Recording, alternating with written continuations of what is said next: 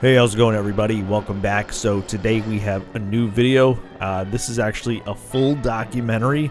It's six. It's almost 60 minutes, a whole hour. So this did take me quite a few days just to make. So um, I'm gonna get straight to it. I'm not gonna show the steps that I took to create it. It's just uh, you know straight away, ready to go, ready to watch. So I'll just kind of break down what I did to it just in the meantime. Um, so I did denoise this using AI also upscale to um, a higher resolution, not 4K, about half of that. And then also I did colorize this whole entire documentary using Deoldify. So, um, you know, with the colorization, it's not going to look exactly how it did back then. It's all, you know, guessing. It's all up to the AI, so you can't really change anything unless you go in later and do some color correcting. But yeah, I'm going to shut up here and you can enjoy the rest of this documentary.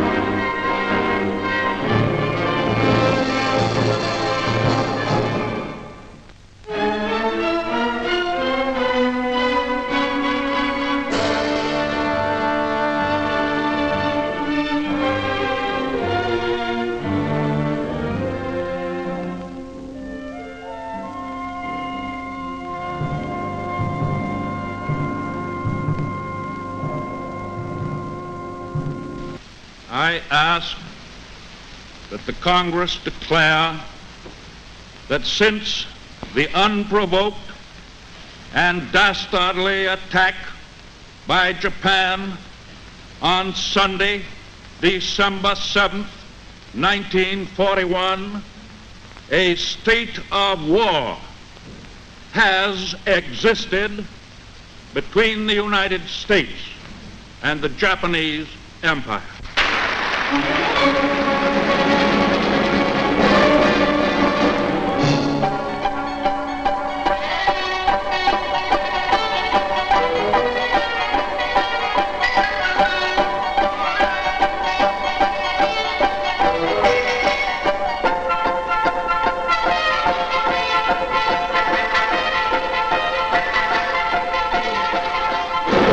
The arms embargo is far too great a security to American peace to permit its surrender without a last-ditch fight.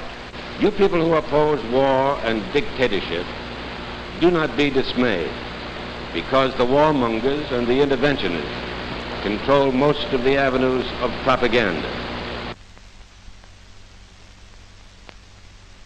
At this critical moment in the world's history, when the democracies of Europe are facing the test of life or death, all Americans are of one mind. We want to assist the democracies in every way we can with materials and supplies. England is the last and only barrier between the United States and total war. Our aid must not come too late. Therefore, we must give President Roosevelt power to set in motion an industrial blitzkrieg that will make it possible for England to blast Hitlerism from the face of the earth. It was fully and freely debated. Men were stamped interventionists and isolationists. and the debate grew bitter. Earnest young men picketed the White House as if peace were in our hands and not in the hands of those who wanted no peace, who worshiped war. Other earnest young men picketed the pickets. Curious organizations mushroomed into being with stunts such as these. Into this free debate trooped the agents of the aggressors, for they too were permitted to speak in our democracy. They wore Hitler's uniforms, but they wrapped themselves in the American flag. They preached the doctrine of racial and class hatred, for Hitler had said America could be conquered from within and fall as an overripe plum to the Nazi master race.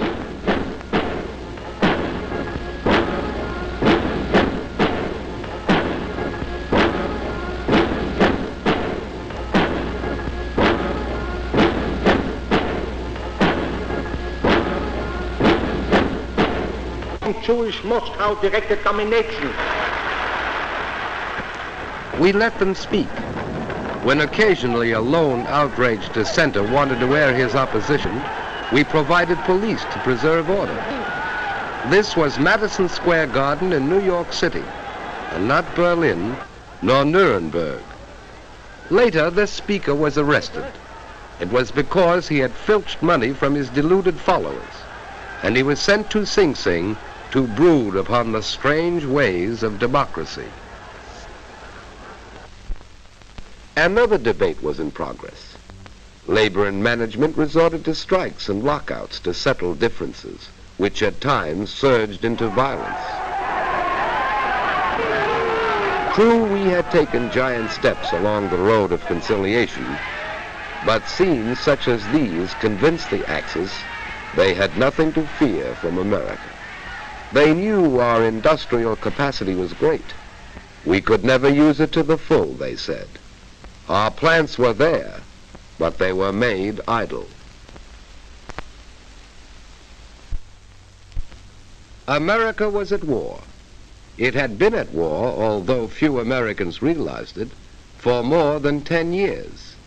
Ever since September 18, 1931, when Japan clawed Manchuria out of the body of China.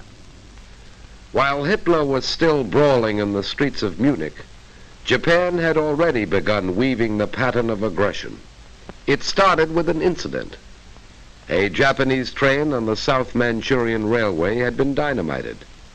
Promptly, Japanese battalions invaded Mukden. This was not mechanized warfare. By later standards, this war was primitive, small, trivial, the Japanese cabinet officially labeled it when China protested to the League of Nations. Twelve Japanese planes bombed a Chinese city. Trivial. The League demanded Japan withdraw her troops. Japan's own vote was the sole dissenting one. Therefore, said Japan, the League's action was illegal. It wasn't unanimous. Secretary of State Stimson was concerned. We had signed the Pact of Paris, which guaranteed China's territorial integrity. We sent an observer to the League. Japan protested, finally consented. The League investigated. Under Admiral Nomura, Japanese forces attacked 15 miles from Shanghai. The same Nomura, who later as Japanese ambassador, talked peace in Washington while his colleagues in Tokyo prepared for war. Japan marched into Shanghai with troops, fifth columnists, quislings, and propaganda, actually anticipating methods used in the conquest of Europe. Japan marched out of Shanghai at the insistence of the League. She signed a truce with China on May 4, 1932. Four months later, Japan moved further into Mongolia sent her colonizers to follow the army into the conquered territory. And the puppet state of Manchukuo was in full flower. The League branded Japan an aggressor, and Japan resigned, deeply hurt. Japan moved further into China. Pausing only for breath, Japan inflated the Mukden incident into the China incident. It was not war, the Japanese said. 400 million Chinese were caught up in this incident. China was looted and shelled and put to the torch. China was bombed in this incident.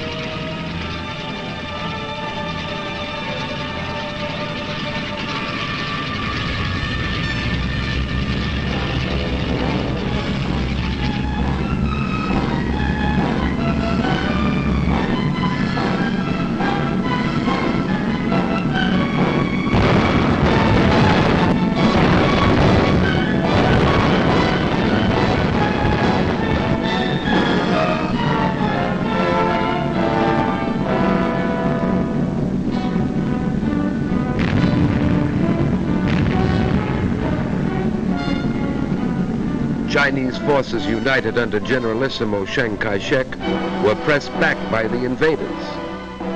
China moved her armies and her meager war industries far into the interior. The Chinese fought on not so much with weapons as with space and time. Few Americans knew Japan. To us it was a land of Fujiyama, of cherry trees, exquisite gardens, geisha girls, picturesque peasants. We had opened Japan to the Western world. They had bought our machines, copied our architecture, our clothes, our popular music, and had even adopted our games, although they marched to the baseball diamond as men marching to war.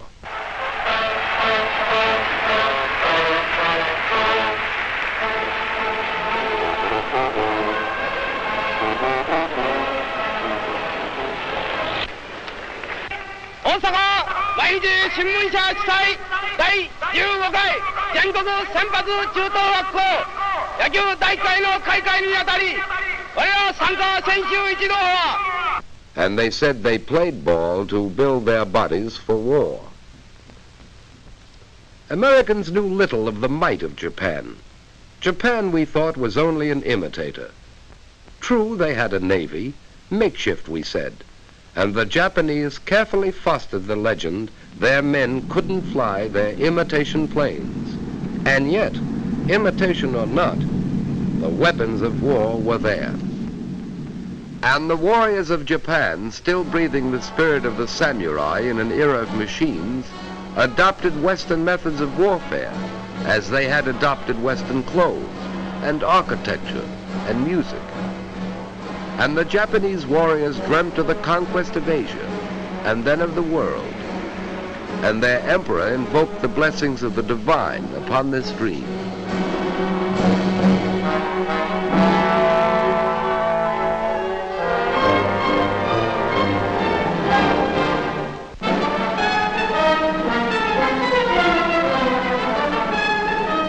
Italy too had dreams of empire. So Italy too created an incident in Ethiopia. Having achieved unity within by virtue of the club, castor oil, and the concentration camp, Mussolini was ready. Italy at the time had the foremost air force in Europe. Emperor Haile Selassie rallied his tribesmen, armed only with spears and ancient rifles, to oppose tanks, guns, trained armies, and planes. The slaughter continued for a little less than two years. The emperor appeared before the League and pleaded the protection of the great powers. The League applied sanctions which were not completely enforced. Two years after it had begun, the war was over. Italy had joined Japan in the partnership of aggression.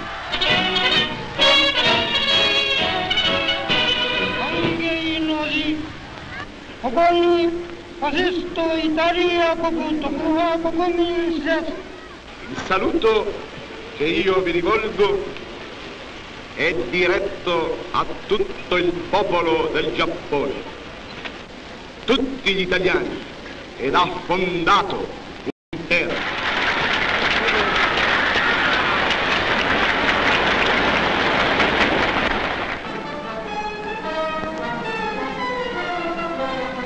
On March 13, 1938, Hitler marched into Austria. The trinity of aggression was complete. Four years Hitler had planned and plotted. His Austrian Nazis had assassinated Chancellor Dollfuss for refusing to play the role of puppet. In defiance of the Versailles Treaty, Germany had established compulsory military service, brought its secret army into the open, had begun converting its huge industrial plant for war, had reoccupied the demilitarized Rhineland zone. Germany had practically wiped out the defeat of 1918. So Hitler marched into Austria. His conquest was bloodless. It was not entirely bloodless. German and Italian forces had been fighting in Spain. General Franco had revolted against the Republican government. He invited and received German and Italian aid. The duly elected government received some Russian aid. The democracies evolved a formula of non-intervention that it has brought aside.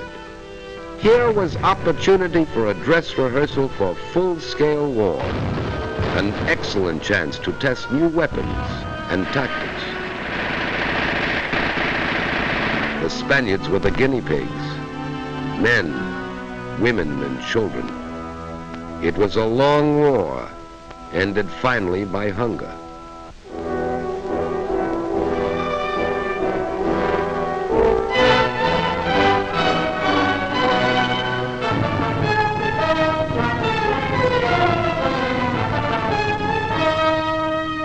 Hitler was not content with Austria.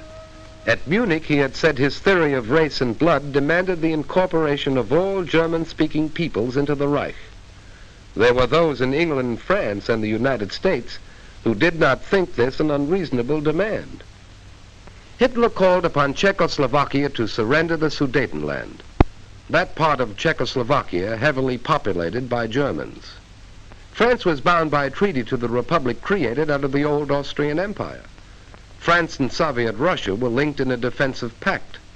Great Britain's destiny was linked with that of France. So Hitler, Prime Minister Chamberlain of Great Britain, Mussolini, Premier Daladier of France, met in Munich, and because the democracies of Europe were hungry for peace, removed a thorn from Hitler's side, the Czech army and the little Maginot Line. Europe breathed a sigh of relief. Mussolini's people were jubilant. They wanted peace. Hitler rolled into the Sudetenland. His people were jubilant. Here was the miracle man, they said. A man who conquered with words. This was a new kind of war. A delightful war bands and flowers and parades, a smiling war, a lovely war. Not a shot fired, not a man hurt, nor a woman, nor a child. War was a holiday.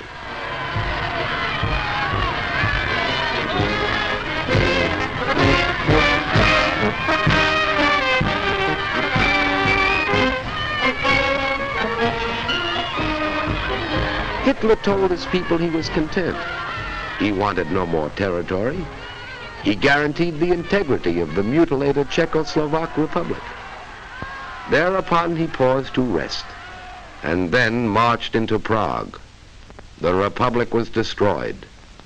The democracies had lost a valuable ally. Italy's reward was Albania, again bloodless. Slight resistance. Now Europe realized the hunger of the aggressors could not be appeased. On April 14, 1939, President Roosevelt appealed to Hitler and Mussolini for a 10-year guarantee of peace, and Hitler mocked as he called the roll of his future victims.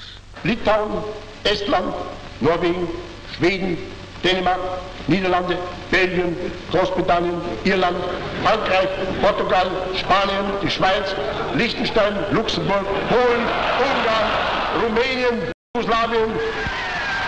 Reichstag roared. Hitler had signed a treaty of friendship with Poland. He had given Poland a slice of Czech territory, and now it was Poland's turn to ascend the sacrificial altar. The democracies had pledged themselves to come to the aid of Poland, and then Hitler executed what seemed at the time a master political stroke. Having come to power as the savior of Germany from communism, having gained support in certain circles of the democracies as the slayer of the Red Dragon, having built his entire system of alliances upon a worldwide anti-communist crusade, Hitler sent his foreign minister von Ribbentrop to Moscow. Maxim Litvinov's policy of collective security had been scrapped at Munich. Now Russia and Germany signed a treaty of friendship. Hitler's propaganda machine hummed, for even in a dictatorship, masses of men and women must be prepared for war. But Poland stood firm. Great Britain stood firm. Hitler didn't declare war. On September 1st, 1939, he struck without warning, which is the way of the aggressor. You will soon see Hitler's own photographic record of the Blitz in Poland. The formula is simple enough. First, choose your victim. An army still living in the past. Few planes, fewer tanks, outmoded guns and outmoded tactics. Choose an army relying upon courage rather than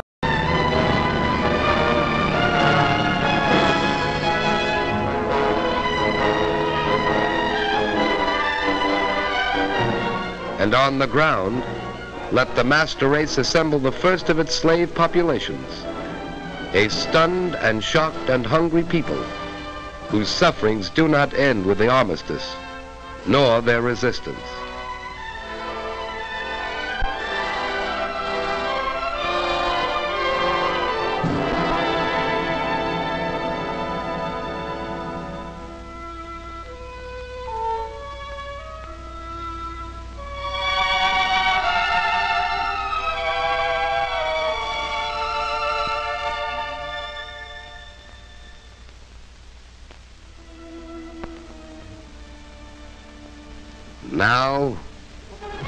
Gloat.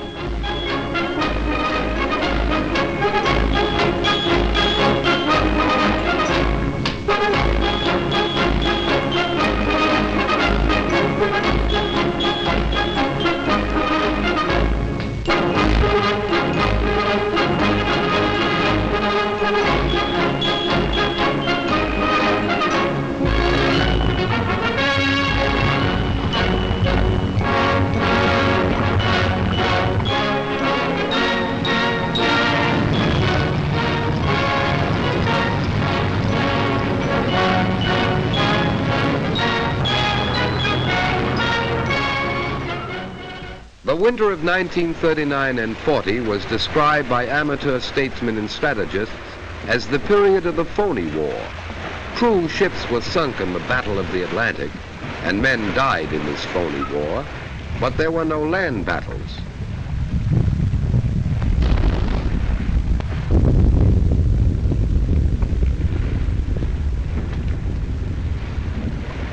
Was waiting behind its Maginot Line, that vast underground fortress deemed impregnable by its military experts.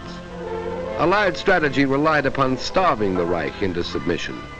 Hitler's armies would collapse for lack of fuel and food and raw materials. Spring shattered this comfortable illusion. Norway and Denmark had staked their survival upon the strictest interpretation of neutrality to escape the war. Their sympathies were with the Allies, but they took extraordinary precautions to avoid offending Hitler. So, on April 9th, Hitler invaded Marken, Norway. Denmark was powerless to resist and didn't. Norway was stunned by an avalanche of force and treachery. Invaders were hidden in merchant ships in Norwegian harbors. Fifth columnists, led by Major Quisling, a Norwegian traitor, spread panic and confusion. On May 9th, Hitler invaded Holland and Belgium. These nations too hoped to avert war. And these nations too minded their own business and spoke softly. But Hitler struck at them, again without warning, because he had decided the Battle of France could best be won by outflanking the Maginot Line. He had no quarrel with these nations. They were merely convenient roads to France.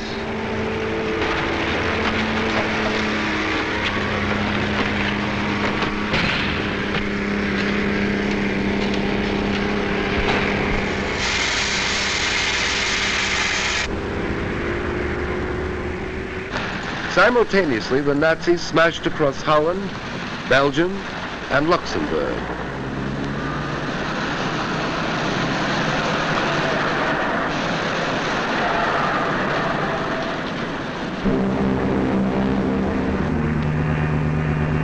This pictorial record you are watching was made by Nazi cameramen at the order of Dr. Goebbels, the German propaganda minister. He showed this Wagnerian symphony of devastation to neutral nations in Europe and South America to frighten them into surrender. You will observe that here in Holland, for example, not one German soldier is killed or wounded or even suffers a fractured ankle in an avalanche of destruction. For Dr. Goebbels is a showman, and what he is ballyhooing is the mystical invincibility of the Nazis, or at least that was his theme song until Britain refused to surrender to Air Marshal Goering's armada, and until the Russians slaughtered well over a million of invincibles.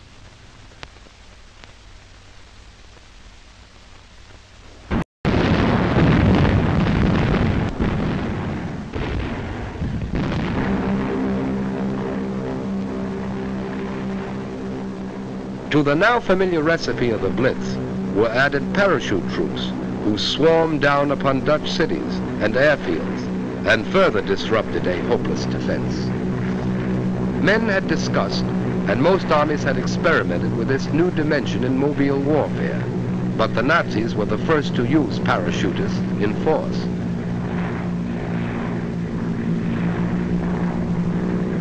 Guns and ammunition sailed down in special parachutes and were assembled quickly on the ground.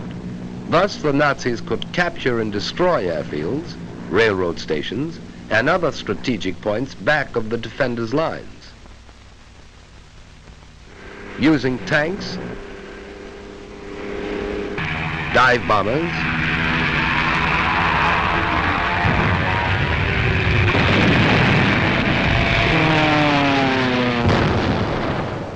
big guns,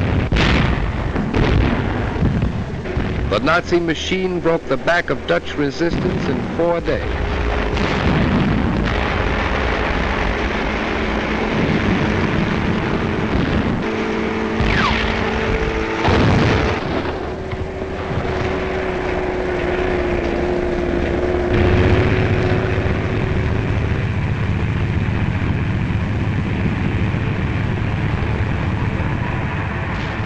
Towns and villages were in flames as the invaders rolled on at a breathless pace, encircling the defenders and slashing their armies, destroying in the name of the new order the homes and shops of those who had dared to resist.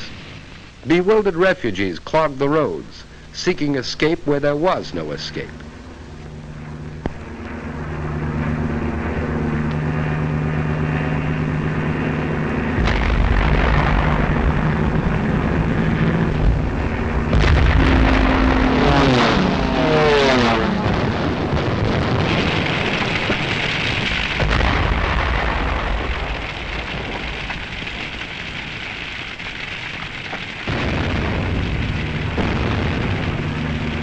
This was Rotterdam, bombed after the Dutch forces had surrendered.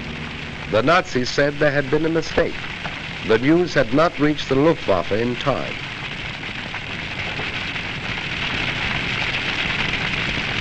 When the Nazis entered this once prosperous city, the night skies were red with fire.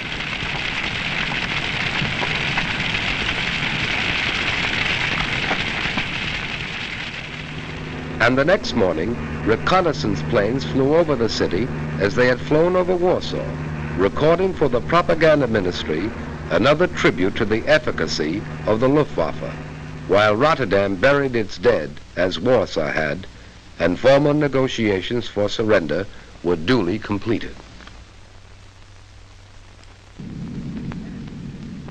It took 18 days more to engulf the Belgians and drive the Anglo-French army into the sea. The French and British armies had moved to the aid of the Belgians, but wars are not won by improvisations, and in their desire for neutrality, the Belgian and Dutch governments had failed to perfect joint defense with the Allies before the Nazis struck.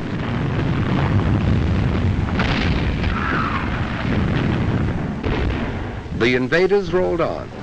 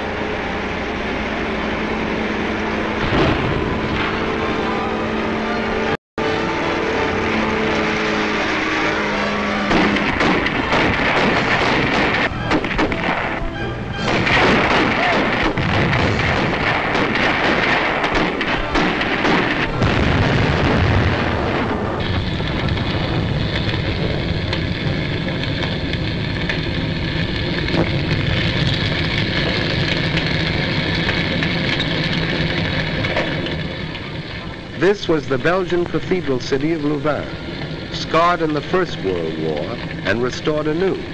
And again it fell victim to the invaders. Again its inhabitants took to the roads to escape the pursuing fires.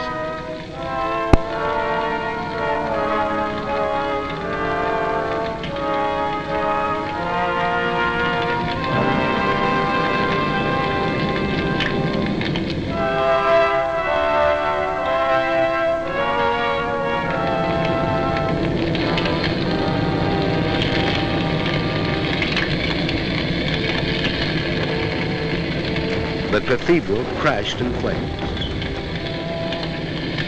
The invaders rolled on. Morning found the refugees still fleeing blindly. Reputable observers said these refugees were machine gunned from the air. There is no photographic evidence of this. And this is what they fled. The Nazi machine moved on, and after a day's destruction, paused only to sleep.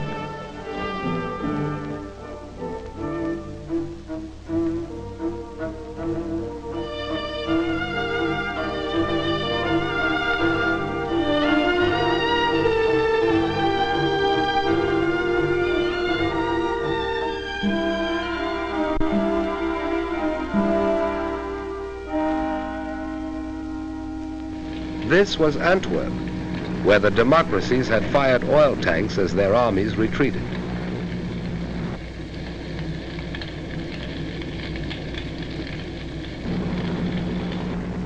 Brussels was spared, for it had been declared an open city, and the Nazis marched in, meeting no resistance. Belgium was doomed, and King Leopold capitulated.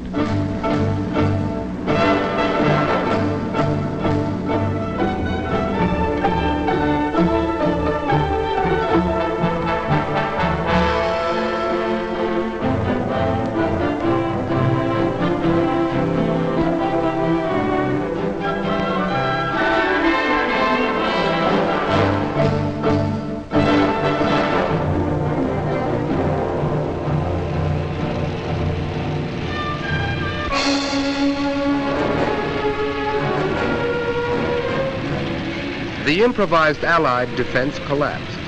The British Army was driven into the sea at Dunkirk, according to plan. Dunkirk has been called the triumph of man over the machine.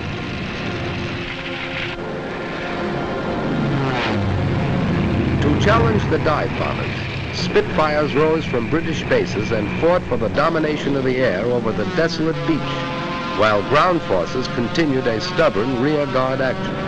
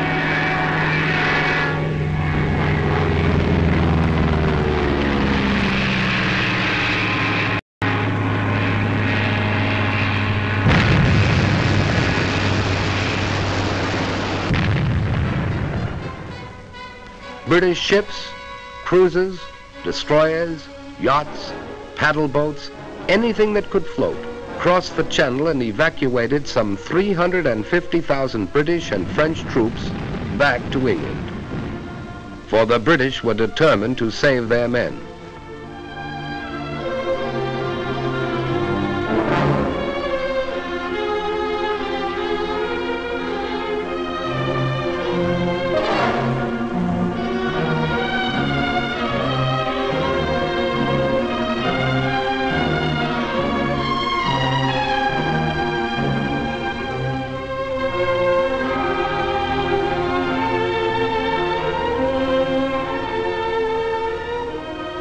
Here in the wreckage was the story of the epic evacuation. Men walked into the sea and swam to their rescuers. They couldn't take their weapons, trucks, tanks, or guns, but men were saved to fight again. Slashed through Luxembourg, Belgium, and Holland, five German armies fanned out across France. Treachery and incompetence had doomed the nation that only a decade ago had been leader of Europe. Now the campaign mounted in fury as France crumbled.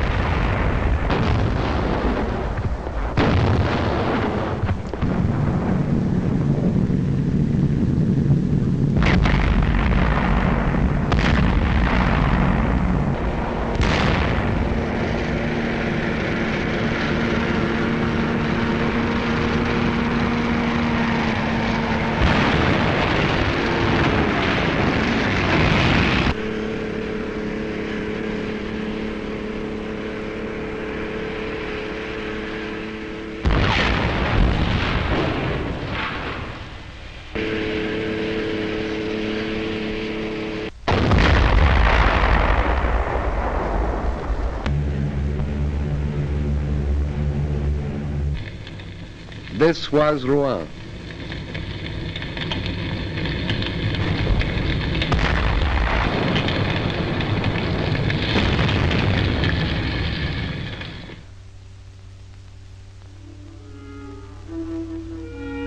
Paris had been evacuating its children. There was talk of defending the city street by street. This plan was abandoned. From the beginning, the French, like the British, tried to spare children the sight and sound of war, but the parting was hard.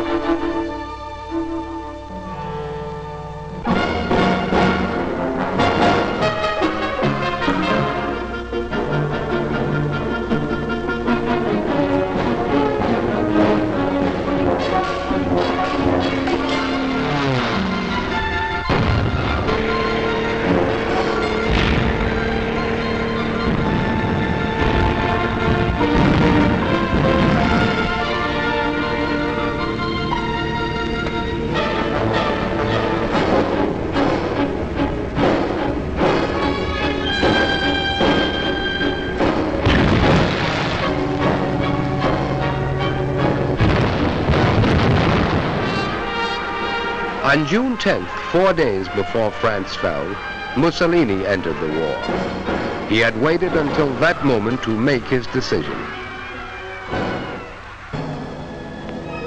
And now the Nazis entered Paris. This had been the dream of the Kaiser in the last war. Hitler achieved it.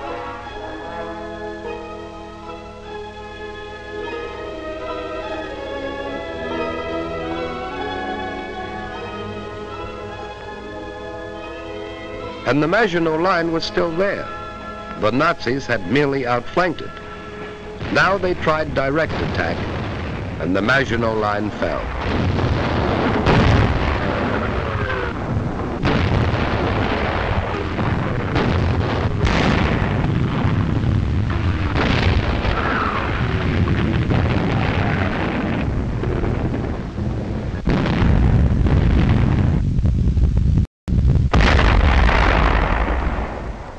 First World War had ended officially in this railroad car, where Marshal Foch had received the delegates of the vanquished Germans.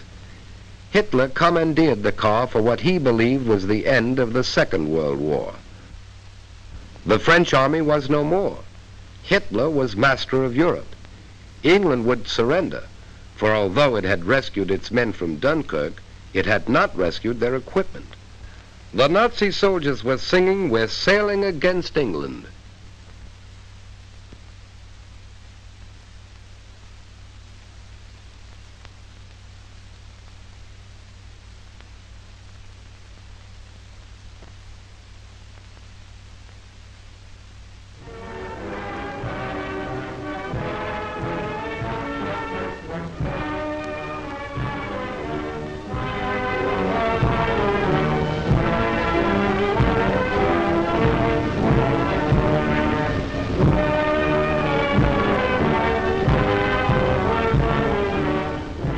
Here at Compiègne, Vichy was born.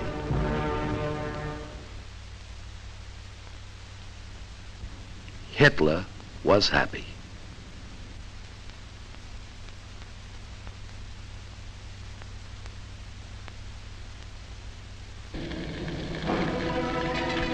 Britain alone remained as Hitler's sole barrier to a total victory. Nazi submarines, now berthed on the conquered coast, set out to starve the British people into submission. Nazi planes, now only a few minutes' flight from the English coast, set out to bomb the British people into submission. Nazi propagandists, making full use of the new weapon, the radio, set out to talk the British people into submission. Terrifying. The voice you hear is that of Lord Haw Haw. The Blitzkrieg will be carried over the British Islands with greater, more appalling rapidity than over Poland, Norway, Holland, Belgium, or France. Prime Minister Churchill rallied his people in what he called their finest hour. He had offered them nothing but blood and sweat, toil and tears. They accepted his gift. Britain was fighting in the seven seas, while the invader was only 20 miles away, and the French fleet was no longer its ally. Nazi submarines, mines, planes, and surface raiders constituted a formidable menace to Britain's lifeline, the freighters that brought her food and raw materials for war. Britain hung on. Now the Nazi Air Force, Hitler's ace weapon, was brought into play. German bombers attacked English ports, so that even if the freighters escaped submarines and mines, they faced destruction in harbors, and the lifeline could be cut at its source. They bombed railroads and factories to disrupt transportation and war production. They bombed by day, and when the Royal Air Force smashed more than 180 of the bombers out of the sky in one session, they bombed by night. The face of London changed. Historic landmarks disappeared. Night after night, London was left a sea of fire.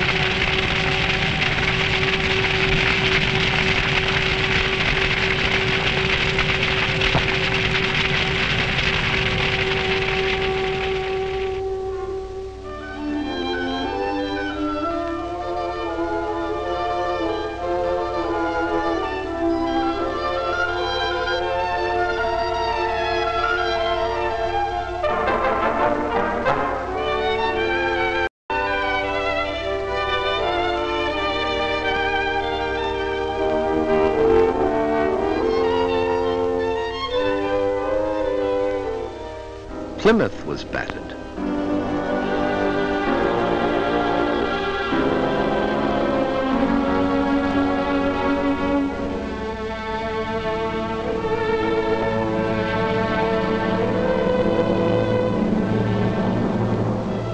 Coventry.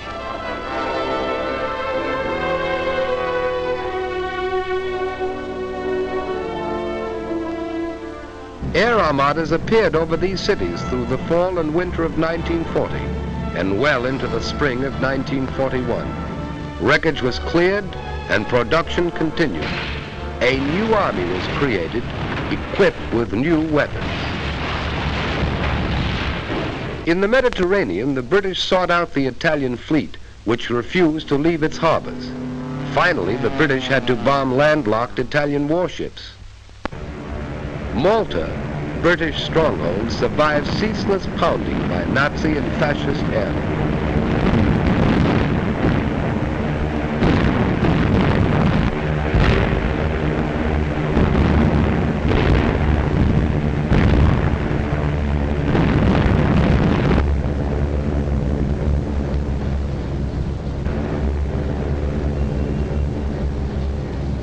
The British sweep through Libya by General Sir Archibald Wavell succeeded in destroying Mussolini's empire. The British captured Eritrea and Somaliland, and in May 1941, Haile Selassie was restored to his throne. Under Marshal Rommel, Nazi forces slashed into Egypt. But whatever the immediate future might hold for the democracies in the Middle East, the Italian fascists had lost the war in Africa as well as in Europe. Here are Italian prisoners captured in the first Libyan sweep. As they were led off to prison camps, the name of Mussolini seemed to have lost its luster, and before long he was to find himself competing with Vichy for the favor of Hitler.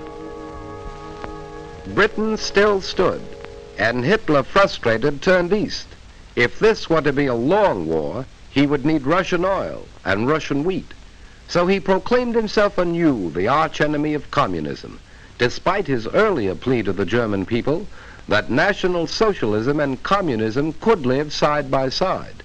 Now he told them he didn't mean what he said before, but he did mean what he said before that. Military spokesmen in Berlin said the Red Armies would be encircled and destroyed within six weeks. Its remnants would retreat back of the Urals. There the Japanese could deal with them at the proper time.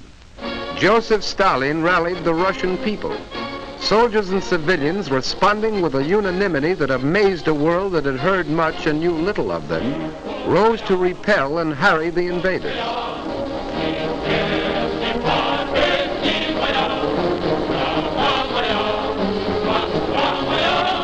Working with whatever tools they could seize, working against time, men and women, old and young, carved these huge tank traps.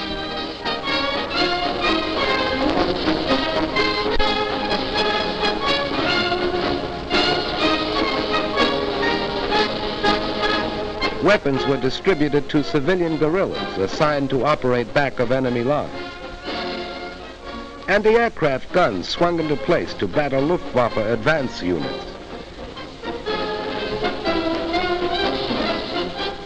Here was the wheat that Hitler wanted, and Russian men, women, and children were determined to keep it out of his hands. This time there would be no easy loot.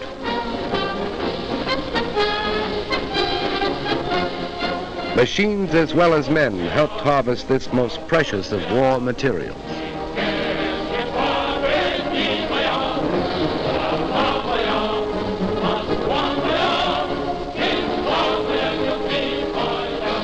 And their prize cattle were driven east.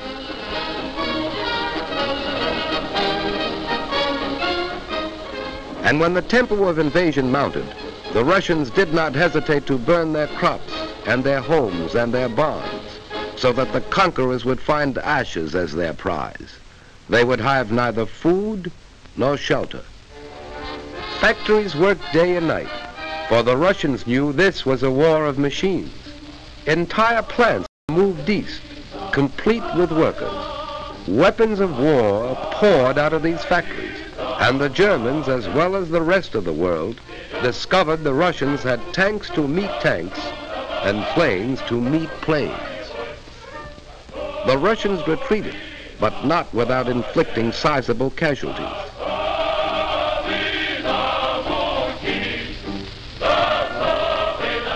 German prisoners captured seemed shocked at the ruthless opposition they encountered. It had been different in France.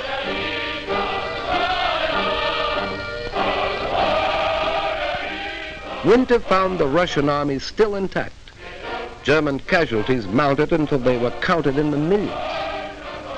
Hitler's armies were not smashed in the winter campaign, but the Russians the initiative and held it.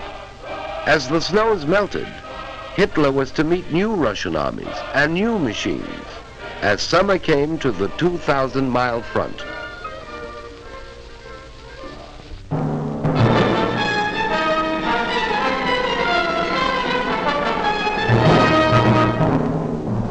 We were not sufficiently on the alert in Hawaii. The Japanese won a series of spectacular victories in the Pacific.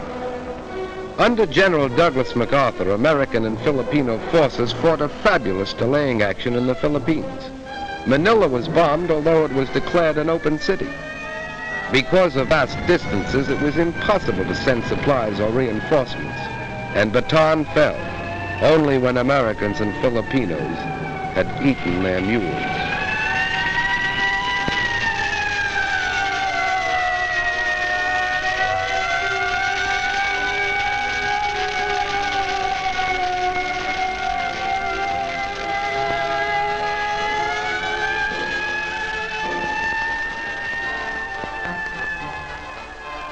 General MacArthur established his headquarters in Australia, and as Commander-in-Chief of the United Nations forces in that area, prepared for the offensive that would develop inevitably. For despite setbacks, we had established a supply chain 6,000 miles across the Pacific that stretched to New Zealand. Like the other democracies, we were not prepared for total war. Fortunately, under the Lend-Lease Act of March 1941, we had set out to become the arsenal of the free and fighting nations. We were determined to supply them with our war goods, whether they could afford to pay or not. We were buying time. Time to convert the industries of peace into war. Time to make ships, merchant ships and warships. Time to make planes and more planes, bombers and fighters, faster, more powerful than any the world had ever seen. Time to make guns and more guns, shells and more shells, tanks and more tanks. Time to gather the huge strength which was ours, to pour the great riches of American earth into the cauldron of war. Iron, steel, oil, coal. Time to build a navy called upon to fight in both oceans and upon all the seas, to convoy men and weapons to Australia, to Britain, to the Middle East, to Russia. A navy that had already undertaken daring raids upon the Gilbert and Marshall Islands and brave Japanese waters and had taken a heavy toll of the invading forces in the Macassar Straits and had won the first battle in the Coral Sea. Time to expand a miniature professional army into a modern war machine. Time to take civilians gathered in a peacetime conscription while we were still debating. To mold them into soldiers. Train them in the use of new weapons, new tactics. Time to teach them the lesson Europe had learned too late. That modern war could only be won by men of skill. Time to send these men to our new bastions, Newfoundland, Trinidad, Bermuda, Greenland, Iceland. We were buying time to build an air force, the largest air force in the world for our Army and Navy. And we were buying time to weld the home front and the fighting front into one. For this was total war, and we realized victories were born in the production line. We needed more ships, more planes, more tanks, more guns, more shells. We were not fighting alone. Nine of the Pan-American neighbors severed diplomatic relations with the Axis. Colombia, Bolivia, Brazil, Ecuador, Mexico, Paraguay, Peru, Uruguay, and Venezuela. At this time, the issue is clearly drawn. There can be no peace until Hitlerism and its monstrous parasites are utterly obliterated, and until Nine of the Pan American nations declared war upon the aggressors. Cuba, Costa Rica, the Dominican Republic, El Salvador, Guatemala, Haiti, Honduras, Nicaragua, and Panama. Mexico joined these nations in June 1942. We were not fighting alone. Even in the conquered countries, the will to fight survived. Dutch, Belgians, Yugoslavs, Greeks, Czechs, Filipinos, Poles, Norwegians, free Frenchmen, all fought with us on the far-flung battlefields. Australians, New Zealanders, South Africans, Canadians. We were not fighting alone in this war of the people seeking a world without war for their children.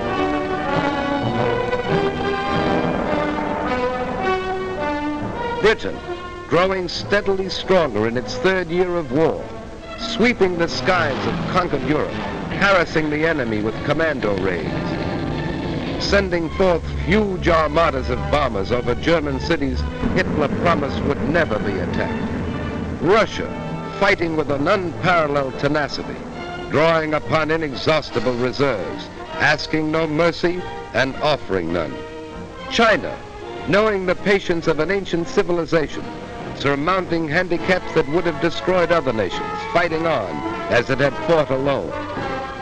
And the people of the United States, an angry people, whose resources and privileges were the envy of the world, offering these without stint, fighting in the factories and the foxholes, fighting in the jungle, the deserts, the frozen wastes, fighting on all the oceans, fighting for survival, fighting a war which would be hard and might be long, but which they would win.